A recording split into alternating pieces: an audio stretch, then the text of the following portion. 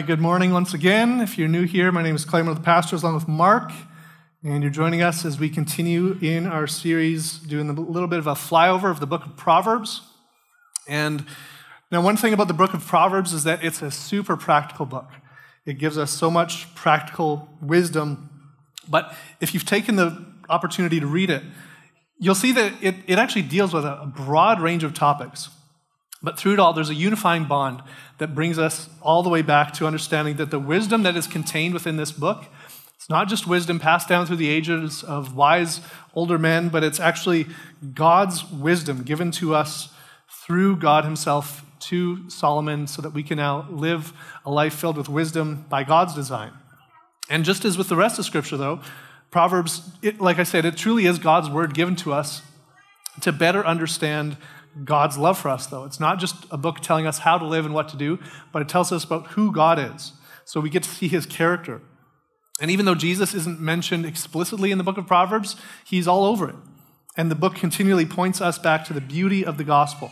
So even when we see instructions for how to live a wise life, the goal is not to just follow the instructions, but to really see this amazing God who loved us enough to enter into our mess, to live the life that we should have lived in perfect wisdom, to die the death that we should have died because of our foolishness, and to rise again, defeating our enemies of Satan, sin, death, and hell, so that we could be brought into the kingdom of God, to follow after him into newness of life that is governed by the amazing purity of the wisdom of God that we get to live in. So, once we know this God, then, that we see through the book of Proverbs, this is what actually drives us through a love and appreciation for who He is to now follow the, the words of wisdom, to actually live out the wisdom that we see in Proverbs as best as we can, knowing that we still need the Spirit of God to work in us and through us to actually live out this wisdom that it talks about here. So, with all that as our little preamble, let's open up the book of Proverbs. We're going to be in chapter 5 today. I know we keep saying that it's a flyover and then we tackle like these entire chapters at once. But trust me, next week we're going to be kind of skipping around a little bit more. It'll be a little bit more topical, and Mark's going to bring us through some some different areas of Proverbs. It won't just be a single chapter at a time. But if you're looking for chapter 5 in the book of Proverbs, it's uh, going to be right near the middle of your Bible. It's right after the book of Psalms.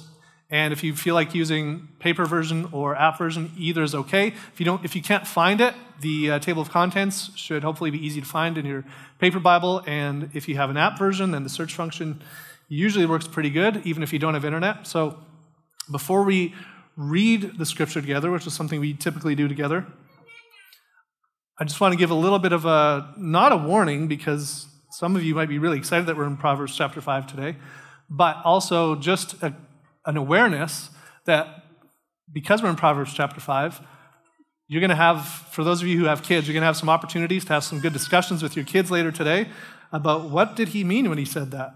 So if you know Proverbs 5, maybe some of you have it tattooed and you're really excited about going through this. And you, if some of you have never read the Bible before, you might go, "What's so? What's the big deal about Proverbs chapter five? Well, it's a good reason to take it out and actually look through it, and not just assume that what I'm teaching is what it says. So bring it out, and then we'll read it together. But before we do that, like I always like to do, let's just pray so that we're setting our hearts right to hear from God's word. Father, we thank you so much that we have your word, that we have this amazing gift from you, so that we can get to better know you and love you and appreciate you. I thank you for the beauty that is held in your word. I pray that we would see it as beautiful this morning, that we would recognize the amazing truth that you have in here that points us back to the gospel, that points us back to your love for us, Jesus, your appreciation for us, your sacrifice for us. Please open our eyes and our ears this morning to hear what you want us to hear. Use my words to glorify yourself. It's in Jesus' name I pray. Amen. All right, so if I've piqued your interest enough, let's uh, read through Proverbs chapter 5 together. Usually we'd have it on the screen, but I'm going to read it today because, like we mentioned last few weeks, we're giving Erwin the summer off from doing scripture videos. So let's start. My son, be attentive to my wisdom, incline your ear to my understanding, that you may keep discretion, and your lips may guard knowledge. For the lips of a forbidden woman drip honey, and her speech is smoother than oil. But in the end, she is as bitter as wormwood, sharp as a two edged sword. Her feet go down to death, her steps follow the path to Sheol. She does not ponder the path of life. Her ways wander, and she does not know it. And now, O sons, listen to me. Do not depart from the words of my mouth. Keep your way far from her. Do not go near the door of her house, lest you give your honor to others and your years to the merciless, lest strangers take their fill of your strength and your labors go to the house of a foreigner. At the end of your life, you groan when your flesh and body are consumed, and you say, How I hated discipline, and my heart despised reproof. I did not listen to the voice of my teachers or incline my ear to my instructors. I am at the brink of utter ruin in the assembled congregation. Drink water from your own cistern, flowing water from your own well. Should your springs be scattered abroad, streams of water in the streets? Let them be for yourself alone and not for strangers with you. Let your fountain be blessed and rejoice in the wife of your youth, a lovely deer, a graceful doe. Let her breasts fill you at all times with delight. Be intoxicated always in her love. Why should you be intoxicated, my son, with a forbidden woman and embrace the bosom of an adulteress? For a man's ways are before the eyes of the Lord, and he ponders all his paths. The iniquities of the wicked ensnare him, and he is held fast in the cords of his sin. He dies for lack of discipline, and because of his great folly, he is led astray. So that's a long passage, and we will cover most, if not all of it, actually today. And I know sometimes you think I go long after a few verses, but we'll do our best to keep this in check. But if we start with the first two verses, we're really going to see that it, it, it sounds like he's starting out a very similar way to what Mark brought out last week in chapter 4. He says, My son, be attentive to my wisdom, incline your ear to my understanding, that you may keep discretion and your lips may guard knowledge.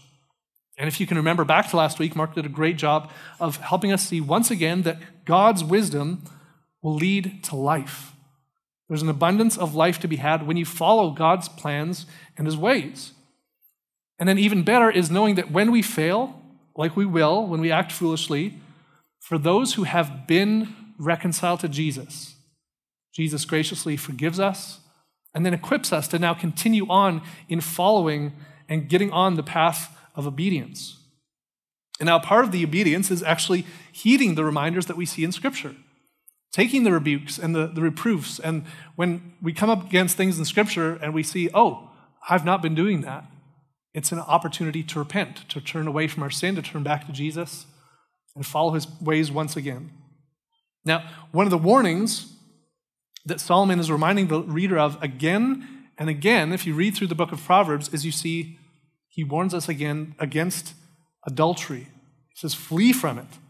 And not only do we see it in chapters 5, but also in chapter 6 and 7 right away here. So, the same warnings over and over again for three chapters, you might think, well, that sounds a little excessive. So, why would Solomon feel the need to devote three chapters, three chapters in a row, no less, to the topic of adultery? Now, to answer this question, I think we need to go all the way back to the beginning the beginning of the Bible, the beginning of all creation. In the, in the book of Genesis, which is the book of beginnings, we're told in the beginning, there was God. Genesis 1 1 says, In the beginning, God. So before anything was, there was God. And we find elsewhere in Scripture that God existed and still exists in perfect love, unity, and harmony as three distinct persons Father, Son, and Holy Spirit. And the outflow of his love and his unity is that God created the universe that we live in. Now, in all of the creative order that he has done, there was one creature that God saw fit to endow with his image or his likeness, and that was humanity. That's us. We humans were designed to reflect the glory of God to the rest of creation, including that means to one another. We're supposed to image forth who God is. And so, as a part of the picture of reflecting who God is, God created man and woman in his image. Genesis 1:27 says, "So God created man in his own image. In the image of God he created him, male and female, he created them." So God had created this pair, this duo for one another to be a picture of his love, of his character. See, man by himself, Adam, the first man, he couldn't image forth God by himself even in the perfect relationship he had with God. Many times we think if we get back to the original idea of, of the garden, or it can just be me and Jesus, and that's perfect. But even in that instance, God said it was not good. Adam could not f- properly fulfill God's intended design all by himself. So that's why God said it's not good for man to be alone. And then we see as the writer of Genesis zooms into the creation of our first parents, Adam and Eve, in Genesis 2, verse 18, it says, Then the Lord God said, It's not good that the man should be alone. I will make a helper fit for him. So God creates the woman, Eve. And then once this happens, both Adam and God rejoice in this amazing creation that God has given of the first woman. And we read this in verses 24 and 25 of chapter 2 in Genesis still. Therefore, a man shall leave his father and his mother and hold fast to his wife, and they shall become one flesh. And the man and his wife were both naked and were not ashamed. So it's declared right at the beginning, as men and women are both created, that God's design would be for man to leave his father and mother and then join together with his wife to become one flesh, completely naked and unashamed, not just physically, but in every sense. And then we see the story move forward, and we understand that God's design was for the marriage to be a picture of God. With man and woman formed together in unity with one another, then, they were also unified with God in this perfect harmony. And it was a small picture of the Trinity. And for a while, it was glorious. There was perfect unity between God, Adam, and Eve. But then it doesn't take long before everything falls apart because in chapter 3, just one chapter later, for what we see, and we don't know how much time span, but could have been weeks, could have been thousands of years for all we know, but another character enters the story. It's a snake, a slithery, seductive snake, hell bent on corrupting this amazingly beautiful picture of God's glory. And with a few simple words, rebellion enters the hearts of our first parents. They believe the lie that God didn't have their best at heart just like so many of us consistently believe. And all it took was this seductive question Did God really say? And as they considered the question, they began to doubt God's goodness. They doubted his protection, they doubted his love. And so this caused a separation between God and humanity, and thus begins the spiral of sin that we now see ourselves living in today with all the destruction and devastation around us. But thankfully, that's not the end of the story, because otherwise we'd be toast, we'd be done for. But God, he, he said He's not done with us. He wasn't done loving His creation, He wasn't done allowing humanity to be that picture of His love and His unity. But it did mean that doing so, reflecting God, would be a lot harder. The marriage relationship, the one that was designed to most clearly resemble this amazingly beautiful picture of God, it would constantly be under attack throughout the ages. From that first fall till now, it's consistently under attack. But we find that there's also something else to the story as well. A few thousand years later, it's revealed a little bit more because the Apostle Paul, he helps fill us in on what this mystery is in his letter to the Ephesians. If you look at Ephesians 5, verses 31 and 32, Paul ends up quoting the same thing we just read in Genesis. He says, Therefore, a man shall leave his father and mother and hold fast to his wife, and the two shall become one flesh. Then he goes on to say, This mystery is profound, and I'm saying that it refers to Christ and the church.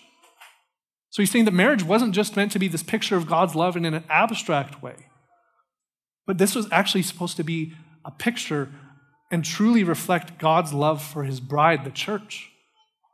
Jesus' love for the church. This is what marriage was supposed to point us to. And just a few verses earlier, Paul was telling husbands that their role is to love their wives as Christ loved the church, giving himself up for her. And that's because in marriage, especially for us as men, we have this amazing opportunity to live out the beauty of the relationship that Jesus has with his church and the beauty that Jesus continually wants to have with us. So there's an intimacy, there's a oneness, there's a passion that Jesus has for us, his bride, that just can't be matched by anything else. There's not another picture that Jesus wants to, to image who he is and how much he loves us. So the only picture that comes close is the picture of marriage. And like I said before, from the beginning of time, this has been under attack. The two things that seem to be under attack most is this relationship we have with God, with, with just us and God, but then also the relationship husbands and wives are to have with each other. These things are constantly under attack. And I believe this is why Solomon devotes three chapters to warning us, to warning his sons, as, as well as anyone else who's reading this, to stay away from adultery. Stay away from anything that distorts this amazingly beautiful picture of God's love for us. It's serious. And I think, too, that this is one of the reasons that many of the Old Testament prophets actually use the language of adultery when they're speaking about Israel's rebellion, when they continuously ignored God's command and willfully chose to wander away from worshiping God and, and worshiped idols and false gods. Now, if you're married, you don't probably have to think too hard of the kind of pain that would be caused by adultery. And yet, that's the very same pain that God experiences every single time we sin. When we choose to go our own way, when we think that something else can satisfy us more than Jesus does, when we think that we can be a better God than God, we end up choosing to worship someone else or something else. And when we do that, we're succumbing to the sweet speech of that forbidden woman that Solomon talks about. So when Solomon warns us about staying away from adultery, he's actually not just talking about physical adultery. He's using it as an example of all sin, just like the prophets did. And that's because all sin is offensive, it's grievous to God. And yet, at the very same time, every single sin has different consequences. And there's different ways that each sin will lie about who God is and who we are. So, even in using this as an example of all sin, I think it's still important and good to warn us about the specific sin. Because the way this sin hits so hard at God's glory and the design that He has for us as His people. So, in a very real and practical way, Solomon, Solomon he's warning men, especially, though you could say this applies to women as well, to do all we can to stay away from these temptations. Because there's going to be many of these. They're going to come again and again. Now, one thing we also need to know about this is that sex is not a byproduct of chance. It wasn't just that God said, okay, I'm going to create the man and woman and we'll see what happens. He designed it. And it was God's good idea from the very beginning, which means that the, the drives and desires that we have as men and women, they're given to us by God, by God to glorify Him, to make much of Him. That means God wants men and women to get married, to enter into that covenant relationship where you both say, I'm not going anywhere, and then enjoy one another with the freedom that can only come from that covenant. All because it helps us to understand who God is. It's not just for us to enjoy that act in and of itself, but it's to help us see the beauty and the glory and the majesty of God. But once again, just like with everything else, we're prone to distort God's good gift to us. And that means there's going to be temptations for us to look outside the covenant, whether it's before we're in the covenant or after we're in the covenant. And we just want to think of our own feelings, ignoring God's amazing commands that actually lead to life. So verses 7 to 14 tell us this. We'll read it again. And now, O sons, listen to me. Do not depart from the words of my mouth. Keep your way far from her, and do not go near the door of her house lest you give your honor to others and your years to the merciless, lest strangers take their fill of your strength and your labors go to the house of a foreigner. At the end of your life, you groan when your flesh and body are consumed, and you say, How I hated discipline, and my heart despised reproof. I did not listen to the voice of my teachers or incline my ear to my instructors. I'm at the brink of utter ruin in the assembled congregation. So Solomon tells us that when we give into the temptation it's not going to lead to what we we're promised. It's not going to lead to fullness. It's not going to lead to everlasting joy. It's going to lead to death and ruin. So then, in response, in verses 15 to 17, Solomon now wants to paint a picture of what it actually looks like to joyfully experience the fruits of the marriage covenant. He says, Drink water from your own cistern, flowing water from your own well. Should your springs be scattered abroad, streams of water in the streets? Let them be for yourself alone and not for strangers with you.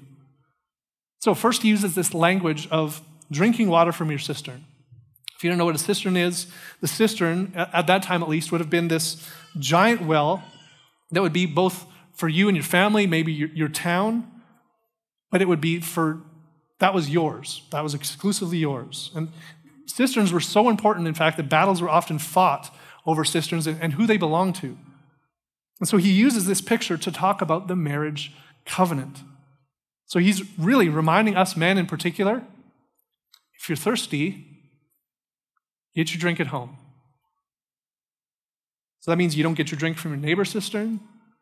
You don't get your drink from the cistern on TV or the internet. You don't get your drink from your coworker or your customer at work. You get to drink from the cistern that belongs to you.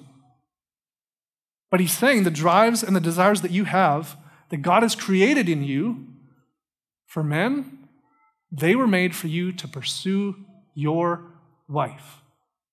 That's it. But notice too, he says that the water should be flowing.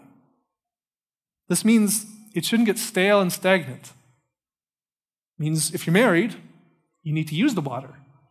You need to cultivate the relationship. You need to tend and manage your own cistern. So, both husbands and wives, this means you need to make sure the cistern is available for one another and then it's well used. Now, obviously, there's times when the cistern needs to be out of order for a bit, maybe needs to be cleaned. But like Paul says to the Corinthian church, those times should be few and far between. Paul says, accompanied by prayer. And then I'll add, accompanied by patience and understanding. Now, in so many religions, sex is an act of worship to false gods. Fertility temples were a normal thing to observe in ancient and Greek and Roman culture. But the truth is, that doesn't mean that for Christians, sex ceases to be an act of worship. Because, like with everything that we've been given, Christians are called to worship God with whatever we do. We're told that we're to give our bodies as a living sacrifice, holy and acceptable as an act of worship to God. Everything we do should be in worship to God. So, for those of you who are married, when we enjoy sex in the covenant and the freedom of marriage, this is actually a beautiful act of worship to our Creator and Savior who made us to enjoy this. Now, verses 18 and 19, they're really going to paint a picture of the freedom that comes with enjoying that relationship. He says, Let your fountain be blessed. Rejoice in the wife of your youth. A lovely deer, a graceful doe, let her breast fill you at all times with delight. Be intoxicated always in her love. Now, if you've never read through the Bible before, maybe you didn't know that this kind of language, it's actually in the Bible. I, like, look it up. I'm not just making it up because I want to. This is here. And it, it, this is in Proverbs, no less. Like we mentioned at the start of the series, this was a book given to boys to better understand what it looks like to grow up to be a godly man of God. Now, so many people have this false idea about what they think the Bible must say about sex, as if it's this thing to be avoided, if at all possible. And then, only then, if you're married, then you do this as a duty. It's in, to be endured. But that's not the picture the Bible gives of sex. It doesn't paint this grim picture. God created it to be enjoyed by husband and wife. And God actually wants our kids to know about it. This is why it's in Proverbs so that they can look forward to it and to understand that this is a gift of God for husband and wife to truly enjoy. Now, it's actually pretty sad that most kids, it seems like their first exposure to the concept is from other kids at school who are crudely joking about it. Or maybe on TV, where it's not talked about in a God glorifying way. But the truth is, sex within marriage is not the butt end of a joke. And it's, it's not just some dreary deed to be tolerated. I mean, just look at the language that's used. Rejoice in the wife of your youth. Be filled with delight. Be intoxicated in her love. That's, that's exciting language. So, whether you've been married five or 50 years, that's a picture of joy and freedom, isn't it? This is something God delights in. So he's not just saying that it's a duty bound, joyless marriage that you have to endure. This sounds like words that are meant to invoke a lot of fun. So we have to remember that this is Solomon writing the words of God, encouraging us to enjoy our spouses. It's a good thing, to the point of intoxication, no less. Now, how many of us just really needed to see that today? God's letting you know that it's not just okay for you to desire and want to physically be with your spouse. It's not just okay, but it's actually God's plan that you really, really enjoy each other. It's an amazing gift. But we have to realize that that takes work, doesn't it? I mean, if you're going to still love and appreciate the woman that you've been married to for 50 years, you're going to have to keep your eyes for your wife only. You can't be looking around, indulging your eyes, and preparing to embrace someone else, whether with your eyes, your hands, or otherwise. So, as a sobering reminder, this is what Solomon says in verses 20 to 23. He says, Why should you be intoxicated, my son, with a forbidden woman and embrace the bosom of an adulteress? For man's ways are before the eyes of the Lord, and he ponders all his paths. The iniquities of the wicked ensnare him, and he is held fast by the cords of his sin. He dies for lack of discipline, and because of his great folly, he is led astray. So he's saying, why would you throw away all the joy, the love, the excitement, and commitment you can have with your wife? Why would you just throw that all away? And he says, besides, we have to remember God's watching. He knows when you click that link. He's not unaware of the messages you're replying to. He's with you when you're making those plans. And if you continue that, down that path, he says you're going to fall right into the snare of the devil. You'll die because of lack of discipline. And God knows if you do not discipline yourself, you're going to have to fall into the hands of God's discipline. So, do you know that it takes discipline to keep your marriage healthy? If you want to enjoy verses 15 to 18, it's going to take discipline. So, men, do you recognize that it takes discipline to love your wife, to engage her, to pursue her, to deny yourself? Ladies, do you know it takes discipline to be attentive to your husband, to honor him, to deny yourself? And for those of you who aren't yet married, or maybe you were married, you need to know that it's going to take discipline for you as well to keep yourself from indulging purely in your own desires. It's going to take discipline to be the right person that you want your future spouse to be attracted to. It's going to take discipline to deny yourself as well. It doesn't matter if you're married or not married, we all need the discipline of denying ourselves for the sake of the glory of God. But that's what's going to lead to greater joy. But we need to understand that in order to de- be disciplined, we just can't do it on our own because true discipline comes from being discipled. So if we want to be disciplined, we, we need to realize who are we being discipled by? Because we're always being discipled by someone. Someone's trying to influence us, and we're accepting influence from everywhere. So we need to think are, are we succumbing to the smooth words of the seductive snake who is constantly going to ask us, Did God really say? Did God really say that sex should be saved for marriage? Did God really say that you can't look at a man or a woman lustfully who's not your spouse? Did God really say that marriage is for one man and one woman for a lifetime? Are we listening to the snake? Or do we have a godly desire to be disciplined by the one who created us in his image? Now, here's the thing we need, we need to know that we've all bought the lies before. Not one of us was pure. We've taken the bait, we've bit the hook, and in one way or another, if we're honest with ourselves, we haven't been the people we want to be, let alone the people God wants us to be. But there's beauty in that Jesus already knew that that was going to happen. He loves you. And like a good husband who pursues his bride, even if she's betrayed him, Jesus continues to forgive us. And he also continues to wash us, making us clean in his sight. That means if you've messed up sexually, if you've been unfaithful to Jesus, you, need to know there's forgiveness. It's not the end for you.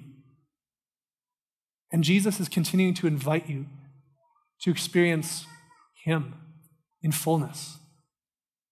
One of the ways He puts it is drinking from an unending supply of water.